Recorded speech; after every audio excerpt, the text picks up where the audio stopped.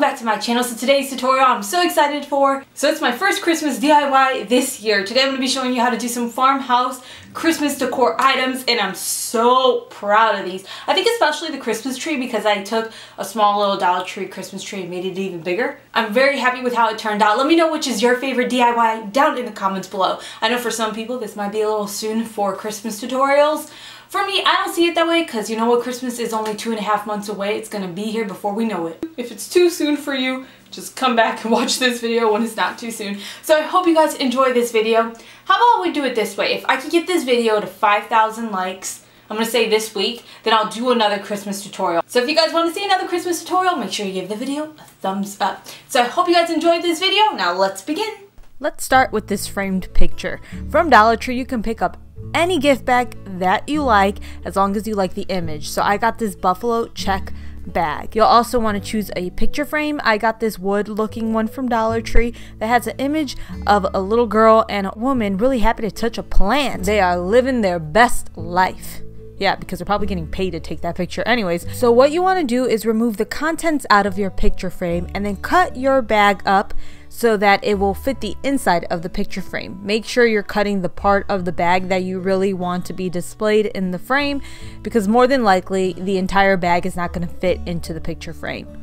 Once you got your bag cut up, you can go ahead and put it back into the picture frame and then put the contents that you took out back into the picture frame as well. Dollar Tree recently has gotten in these cute little red trucks and I really wanted to incorporate it into DIY somehow.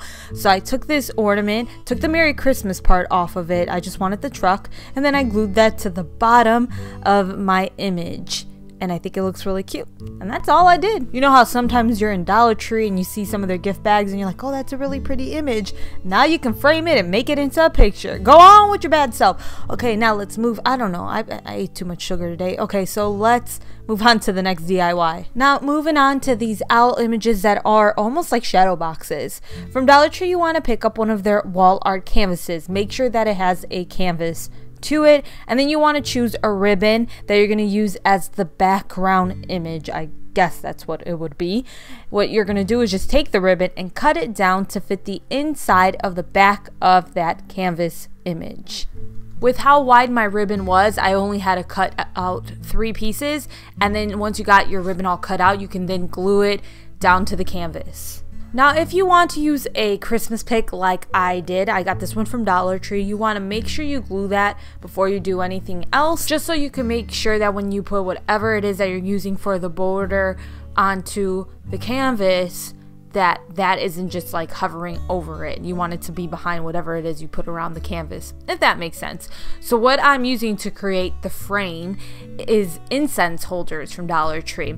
I usually find these hanging on like little strips throughout different aisles, so that's where you're going to want to look for them, and they're real wood.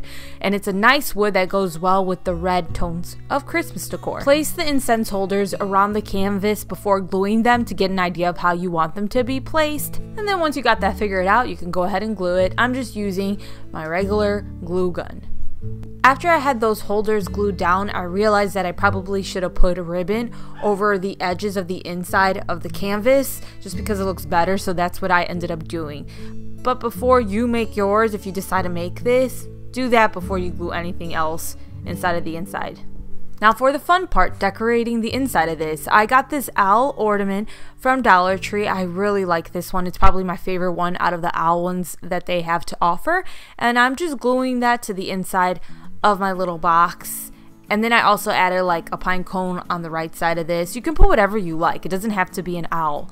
And then on the top of it, I put this little joy ornament, I took the little twine that was on the top of it off just because I didn't want it to be there. And then I just go ahead and glue that one down. I decided to make another one of these. So with that joy ornament, there's two more ones that are similar that you can get. One that says peace and one that says love. I decided to do one with the peace ornament as well. So you can make this a set of three if you want to, and you don't have to do it with just owls. I just like the owls a lot. I know every time I say an owl, people think I'm saying owl. I promise I am not saying owl. So that is it for this project. Now moving on to a throw pillow you can make with a scarf. From Dollar Tree you want to pick up one of their scarves. It just depends on the type of pattern that you want. They have a bunch of them and right now they have lots of ones that have a buffalo check pattern to them. Now take your scarf, make sure that it is folded in half, and decide how long you want your throw pillow to be. Once you have that decided, you can do one of two things. You can sew the scarf together or you can glue it together. So what I'm doing is I'm using a hot glue gun because your girl doesn't know how to sew and this is much easier for me to do. I'm sure sewing this together is not hard at all. It's more so time consuming if you don't own a sewing machine and I don't own one. So it's just easier for me to use the hot glue. You can also use fabric glue. It's kind of up to you. Now once I have the glue set down with the length that I want my pillow to be, I go ahead and cut off any excess fabric from the scarf.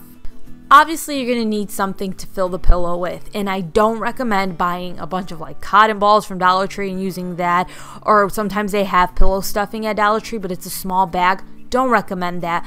You're going to get more bang for your buck if you go to Walmart and you buy one of their cheap $2.47 pillows or the jumbo one like I got, which is around $3.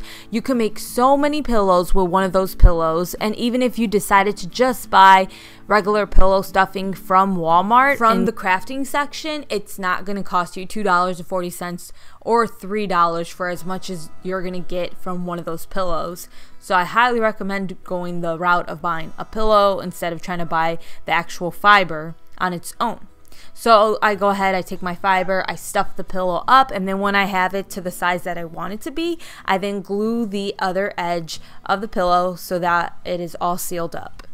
Now it's time to decorate. To do that, I'm using some ornaments from Dollar Tree. The first one I'm using is this little circle ornament, but it's a fabric one. And what I do is I cut it down so that I can take the Merry Christmas part and glue that to the center of my pillow.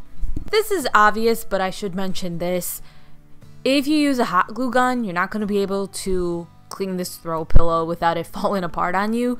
So make sure you keep that in mind. This will definitely be something you have through this season, but if you want to reuse it, you'll have to take very good care of it if you use a hot glue gun like I do. If you sew it, that's a different matter and I'm sure you can wash this and be fine. But it does depend on the type of ornaments you use. The next ornament that I'm using is this snowflake ornament, but there are some hard pieces on the front of it of like a fake pine cone and obviously you don't really want to throw that inside of your washer so if you want your pillow to be something that you can clean inside of the washer and not have to hand clean it um, you don't really want to use anything that's like that just fabric all around now what I'm just doing is I'm gluing two of those snowflake ornaments onto both sides of my throw pillow the final thing I decided to do was take some ribbon from Dollar Tree and just put that on the edges of the top and bottom of this pillow. Not all around, just the top and bottom. And I really like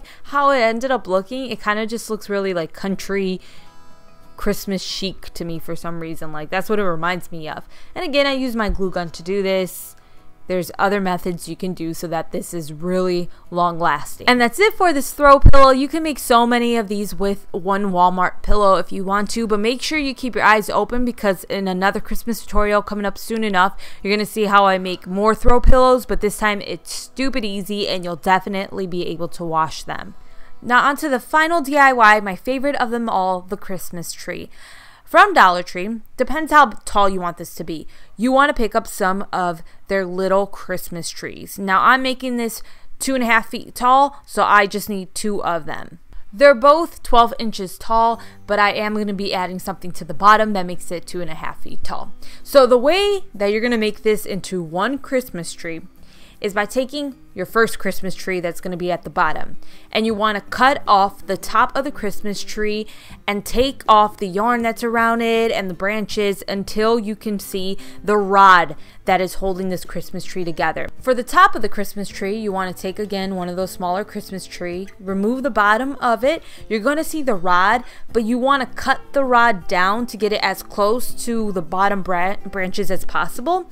And if you're having a hard time just taking a scissor cutting it, which you really shouldn't because the rod is not that hard to cut through. You can take pliers and squish the rod together take scissors, cut it, and then use your pliers to open it up again to reveal the hole. To attach both Christmas trees so that they are one, you want to get some floral wire from Dollar Tree. Now you don't want to use just one of them, you want to use as many as you can so that it fits through the holes of the rod, but it's sturdy so that the Christmas trees don't sway around. So I only took two of them and I just twisted them around till I got something that was sturdy. I then slide that through the bottom Christmas tree but then I added some hot glue so it doesn't go anywhere and I put some hot glue at the top of the rod as well that's going to go through the top Christmas tree and once they are attached I put more hot glue where both of those rods meet.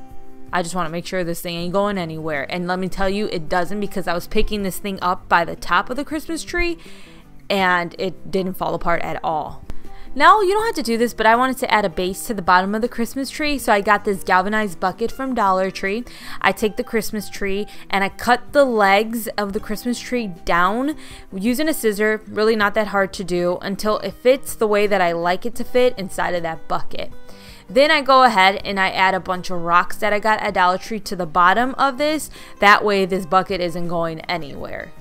Next up, you want to get some of the garland branches from Dollar Tree and you're going to use this to add more fullness to the Christmas tree because a Christmas tree is a very sparse Christmas tree. And all you have to do is just tie the garland around the center rod of the Christmas tree, or you can do what I prefer to do cut the garland in half put some glue on the end of one piece of the garland and then wrap that back piece around the rod and then just put individual branches on like that and I feel like this really secures those branches in place. The only thing is you do not want to put any ornaments on these attached pieces of garland because they're not as sturdy as the pieces that are directly attached to the Christmas tree. You'll be able to tell the difference though between the two.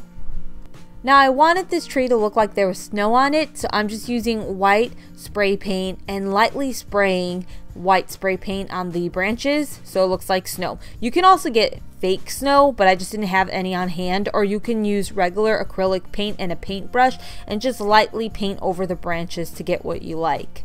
Now I wanted to add a bunch of pine cones to my Christmas tree.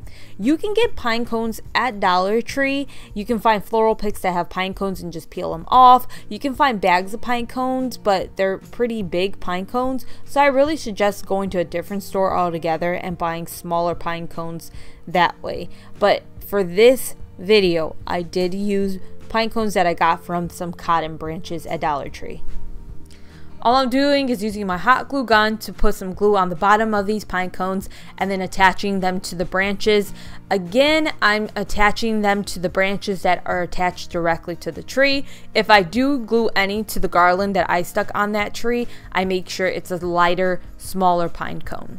Now I'm adding these cardinal little picks that I got at Dollar Tree and this will also help make the tree look a little bit fuller. I only ended up using three of them. I decided to add some holly berry to the tree so I got these picks that have bigger holly berries on them. I take those bigger pieces off, glue some to my tree and then I take some of the Dollar Tree holly berries and then I glue that to the tree. Now the final item I'm using is not found at Dollar Tree. It's this ribbon that I got at Michael's. I just thought that it would look really nice on this Christmas tree. Make sure you use a coupon if you decide to get it. And also Walmart carries a cheaper one for $2.97. So all I do is wrap that ribbon around the Christmas tree. I really like the way this looks on the Christmas tree. It's like the cherry on top. So that is it for this first of the year Christmas Dollar Tree DIY video. I hope you guys enjoyed it. Again, if you like it, give it a thumbs up. If we get a 5,000 likes soon, I will do another Christmas DIY video for you guys. Thank you so much for watching. I will see you guys next time. Take care. Bye.